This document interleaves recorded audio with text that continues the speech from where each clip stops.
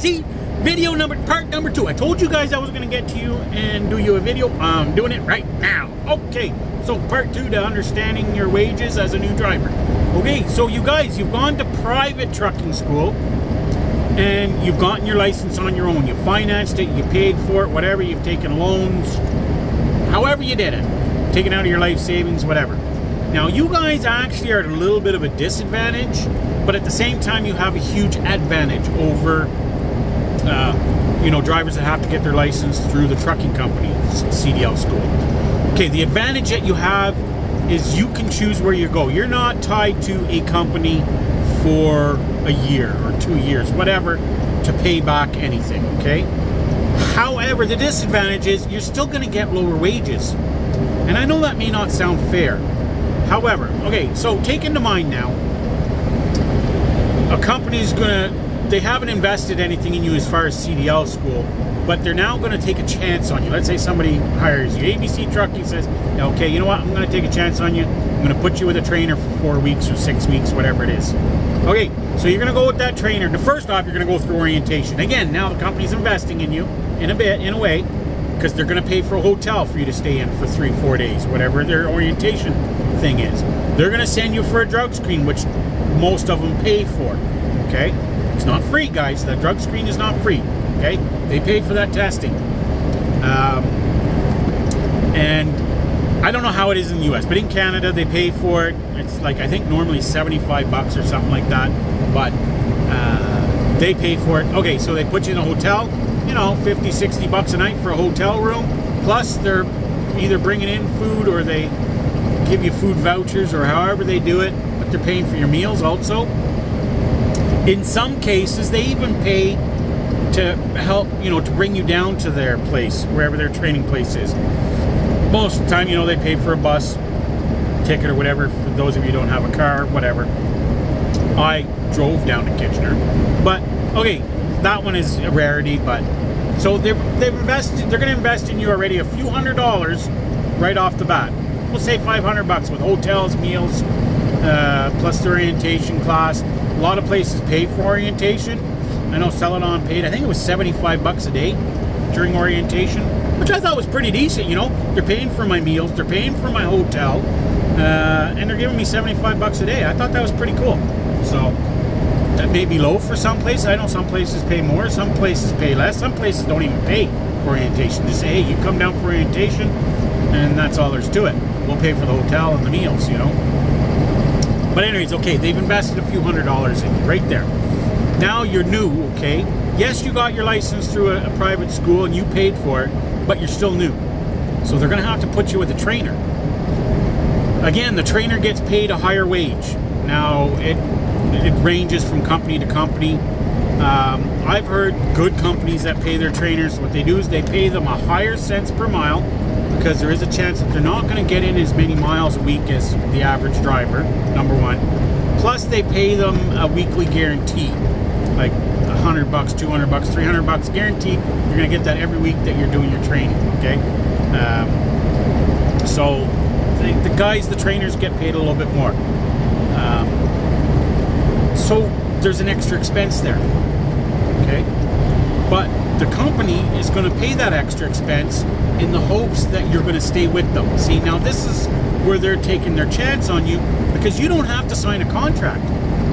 You don't have to sign anything that says you're going to stay with them a year or you have to pay them back. And I forgot to mention that in the other video, and I hope you guys from the other video are watching this video um, so that you hear that part. Um, because a lot of times if you don't complete the contract, they have the right to go after you to have you paid back you know, for the remainder of what's owing for the schooling. Um, so you guys have already gotten your license elsewhere through your own schooling. You know, you don't have that obligation. So this is another reason why they're going to pay you a little bit less. Now they may not pay you as less or as little as they do someone that they put through their own CDL school or a company that has their own CDL school. But they're still going to pay you a few cents less for the first year. Just to see, A, to get you know, their investment back, the money that they've already spent out on you, uh, number one. Uh, number two, to see if you're gonna, you know, make it. They're not gonna give you that uh, top wage incentive right off the bat. Now, if you stayed with them a year, most companies uh, will pay you a one-year wage, a much higher wage. You know, there's a significant jump there usually from first-year driver to someone who's got over the year or the one year's experience. I know Swift, from what I've heard, is a significant jump from you know your first year driving as a with a trainer, as a trainee, etc., and then by yourself to uh, after you've had that one year experience. Um, it's it's a significant jump. I know with Celadon Canada, now Celadon US, like I said, is offering that training program. I'm not sure the, the rates. I'm trying to find out um, so I can get a better idea. Um, but you know, and so now you're at the advantage you new guys now i do encourage you stick it out a year okay with this company. Just really tough it out stick it out that year. You get that one year under your belt you you can pretty much start looking almost anywhere you want. I said almost okay? Um, a lot of companies don't like to see a first year driver that has worked for you know two three companies. That's not a good sign and it's going to make it very difficult for you to get hired okay um, but you've got that year in, you stuck that year out with the company, you've got that one year's experience. So for just for example, you say, hey, you know what? Celadon offers a really good, uh, you know, what I think is really good for uh, after one, but you have to have minimum years experience here in Canada. Um, they will accept less than a year with a reputable driving truck driving school, but you know, not that much less. So, but anyway, um, so you get that year in, and then you start at the one-year wages. Now, Celadon Canada starts their drivers off if you've got one year at 39 cents. You know what? That's a pretty decent wage. It's not horrible. It's pretty decent. Um, I'd say it's uh, right around the average, right in the middle of the pack. Uh, I know some dry companies start much less than that. I've heard, you know, 34, 35, 36 cents, 37 cents. So 39 is not that bad, actually. I, some companies start at 40, 41. It varies. It's it's a huge variance throughout the industry. A lot of it has to do with where you're going to be running. Uh, companies that run the East Coast tend to pay a little bit more, just because nobody wants to go there. Uh, don't blame them either. So, but I'm getting off on a sidetrack here. So, guys, that's one of the things you got to understand. Why you're going to get that lower wage your first year is the company's taking a chance on you. You got to prove to them that you're willing to stick it out and that you know you you are what they want, or you know you are a good driver, etc. So get through that first year. If things don't improve after the year, like if your wage doesn't go up and to a level to where you think it should be, now guys, you got to be realistic about it too. Okay, uh, don't expect to make it. Uh, a five-year wage after your first year. It's not going to happen, okay? And that's the downside to the trucking industry. The wages haven't really gone up over the last little while as much as they should have. Um, you know, guys with three and four years experience uh, are pretty much making the same kind of money as a guy with 10 and 20 years experience. So, as you can see, it doesn't take that long to get yourself up there, okay?